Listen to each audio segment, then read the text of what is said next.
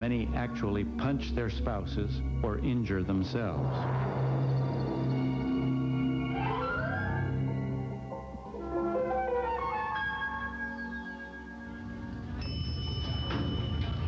Others, like Donald Dorf, just go out for the winning pass.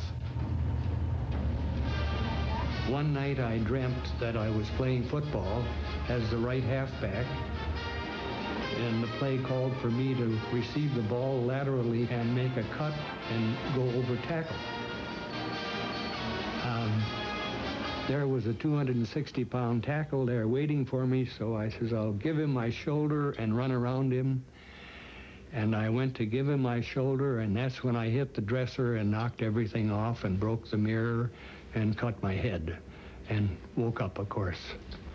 Ah, Mr. Dorf, so good to see you again. Fortunately, researchers here at the Minnesota Regional Sleep Disorders Center have found that this strange condition can be effectively treated with medication. So the medication is still working pretty well. No one knows the exact cause, but scientists suspect it's neurological and related to aging. The sad thing is, since this disorder is so little known, it often goes misdiagnosed as a serious psychiatric illness. What is the brain doing while it's sleeping and dreaming? No one knows for sure, but there are many theories. Some scientists compare it to a computer that goes offline at night, closed to external inputs, but still quite busy downloading files used during the day. In 1983, Nobel Prize winner Francis Crick proposed that dreams are a kind of wastebasket for the brain. He argued that we dream to forget, to reduce fantasy and obsessive, bizarre modes of thought. Dreams are a way for the networks of the brain to avoid gridlock. And the things we dream about may be better off forgotten. In 1977, Harvard University's Allan Hobson and Robert McCarley developed their theory of the dream generator. According to their hypothesis, the raw material of dreams comes from the random firing of neurons in a primitive part of the brain called the pons. These electrical signals travel up into the cortex. The cortex then attempts to construct a story to impose meaning on these chaotic impulses. It's as if the neurons firing provide a series of random dots, and the cortex tries to connect those dots into a coherent picture.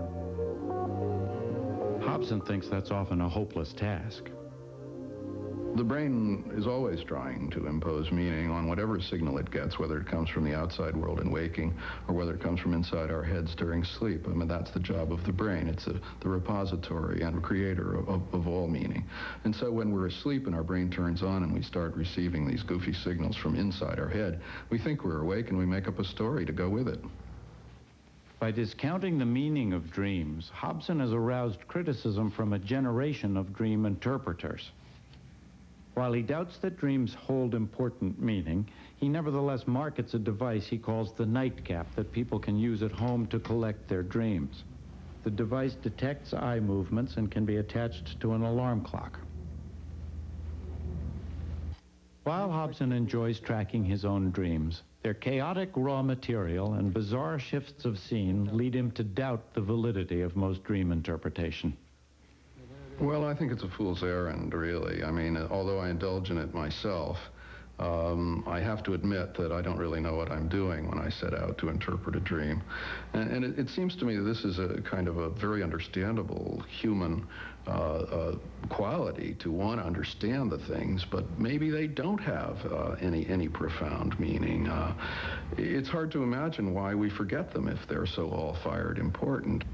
Fool's errand or deadly serious. William Dement has personal reason to believe in the meaning of dreams. Years ago, I was a very, very heavy smoker, and I had this incredibly vivid dream. I had a cough, and one day I was coughing, and in the handkerchief there was some blood. Well, I had a chest x-ray.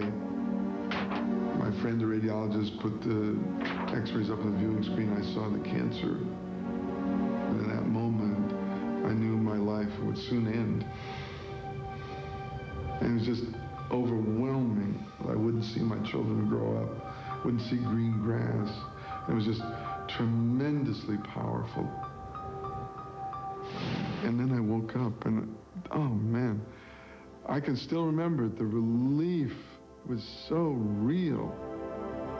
Ah, the second chance was to be reborn, but the main thing was I had experienced cancer of the lung, and I knew that was a totally unacceptable alternative.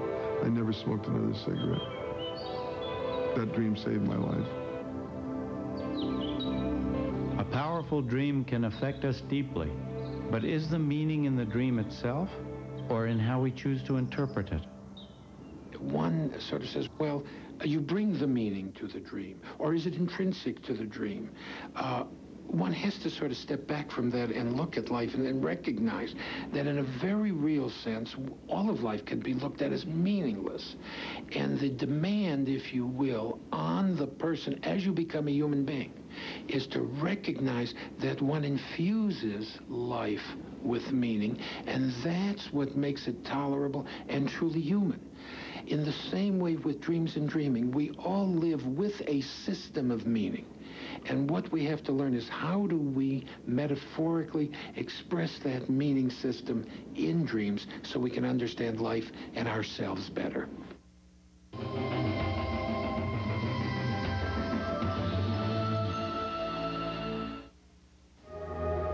I had a dream that I was a little girl. Explore the mysteries and meanings of the unconscious mind when you order The Power of Dreams, a compelling three-part series from the Discovery Channel, now available on home video. Even children's dreams may hold up a mirror to their anxieties and help parents better understand them. Okay, guys, time to wake up. It's breakfast. Boston psychoanalyst Wynn Schwartz is the father of two boys. Since he and their mother have separated, he doesn't get to see the boys every day as he used to. He finds he learns a lot by just talking with them about their dreams. Want some syrup? They get to practice things in their dreams. And they get, I think, to work out the conflicts that they, they experience in the family. Sam has a dream about a witch chasing him in a haunted house. Well, you and me were in a ha- haunted ha- house and sitting on the sta- staircase, and then a witch just basically came out of nowhere, and she was chasing me, and she said that she was gonna eat, eat me, but There's a, a witch chasing him and a father, me, who is sitting there doing nothing. And I think that that uh, was a frightening circumstance for him. she came, she came like this close to catching me. How did that feel? Pretty scary. So how did you feel when I didn't do anything, when I just sat there? I couldn't blame you because it was ju- just a dream, and since it was And just he a very quickly tells me that uh, it's no one's fault, that in dreams you can't uh, blame people for not coming to your aid. So the dream, in some ways, must be a story about something he's feeling about what's happening here, something that uh, he really can't escape, and something he can't really feel like he can get help with. Did you want me to help you, though? Well, yeah, I get. Well, I I guess. Ready? On your mark. Get set. Run. Run. The other way, Graham. This way. This way. This way. Just as adult dreams will show their ongoing efforts to represent the problems of their lives, children's dreams will represent their own problems. In this very large world, it's quite natural for their dreams to represent their, their vulnerability. Stay back there. We like Sam. Our dreams enable us to explore new worlds of our own creation. But at times, they also reveal our deepest fears.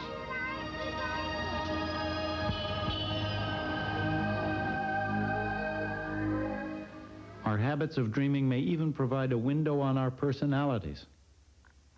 Based on studies of dreamers, one researcher has developed a new theory of personality types called boundaries in the mind. Uh, What I've found is that people who have a lot of dreams, people who remember dreams a lot, and especially people who have nightmares a lot, are people who have thin boundaries. And by thin boundaries, I mean boundaries in many, many different senses. Boundaries between different sensations, boundaries between thoughts and feelings, between sleeping and waking, between dreaming and waking, between fantasy and reality. But the opposite, uh, I've seen quite a lot of people who have very thick boundaries. They usually don't remember dreams, they don't have nightmares, and they keep everything very separate. Evan Elkington is a successful sales engineer who has enjoyed competing in sports since he was very young. He's a good example of Hartmann's thick boundary profile.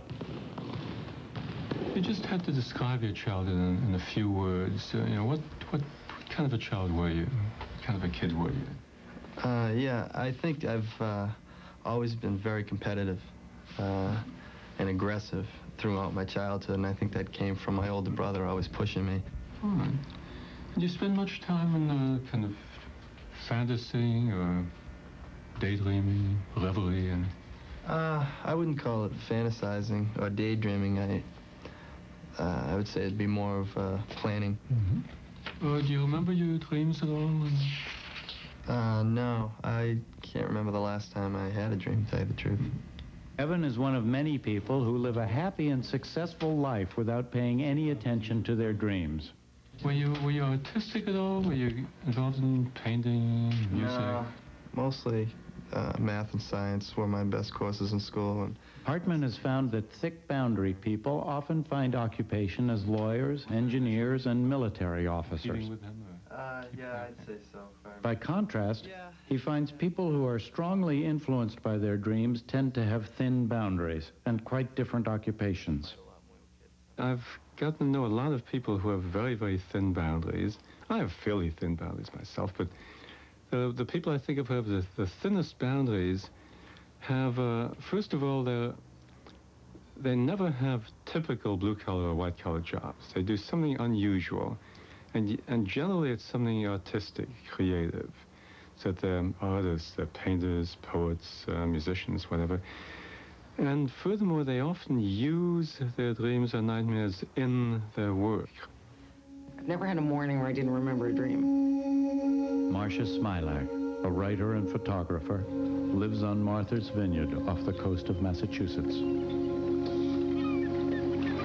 Dreaming is important to every aspect of my life. Um, it's such an integral part of the creative life, whatever that is, that I couldn't really separate it out. It is the same thing. It's the same images. But what I do, I call it painting by camera. I sit here and I, in a sense, let the water be the canvas. And I watch these different pictures get painted by the movement of the water and the tide and the light and all that. And when I see a picture that I like, the camera is my paintbrush and I take it.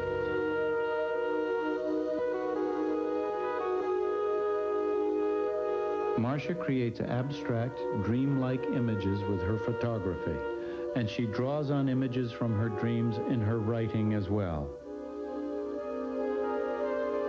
But her sensitivity and thin boundaries may at times make her vulnerable to depression. So, so you're, you're a finder of beauty, and, and I, I, I guess you, you always have been. I think also a finder of, of sadness, Yeah. which doesn't seem so contradictory to me. Yeah, can you give me some idea of what, what your dreams are like? Can you say, Um, tell me a recent dream? Sure. This was a dream actually I had about 10 years ago, but I, I, I never forgot it. And in this, in, in real life, I was in the process of ending a, a long relationship, and I was in fact depressed. And when I went to sleep, I had a dream that this boyfriend and I were sitting in my den, and I understood that I would die unless he stayed in the house until 6 o'clock. Luckily, he was there, and I was feeling very relieved.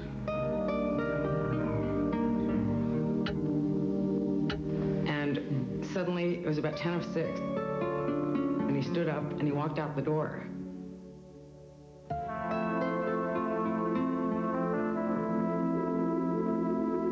I next arrived at a cemetery, and there was this low-rent preacher waiting for me. I remember he had on a gown that was too short and you could see his pants and cowboy boots and he was holding a can of Colt 45 beer. And I remember thinking, cheap beer.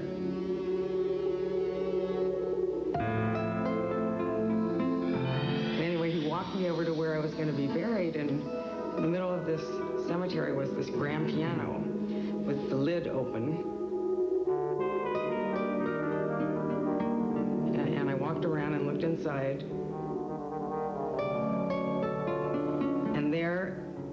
was this outline of my body, like police make when they find a body, only it was little yellow pills. And in the dream, that was where I was going. Marcia's dream came at a time when she was taking antidepressant medication. It was also the time when she began to take up photography. And over time, I came to think about the piano and why, why a piano? And I've decided, it seems obvious to me that it's because a piano is a place where you create art, not a place where you bury people. And so the combination of the pills, which I was taking to give me some sense of structure or boundaries or control, that was one version of finding a mm-hmm. shape that would fit. But art was ultimately what saved me and what I think could save anyone.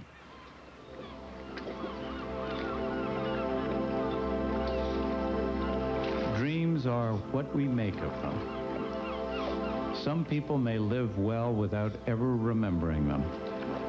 For others, dreams become a kind of second life. We have reason to be intrigued by our dreams. They are among the most amazing things our minds create. It's been said, dreams are real while they last. Can we say more of life?